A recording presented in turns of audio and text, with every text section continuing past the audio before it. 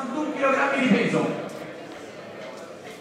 Facciamo entrare all'angolo blu per lo Zucca Club di Roma entra Giacomo Santoro.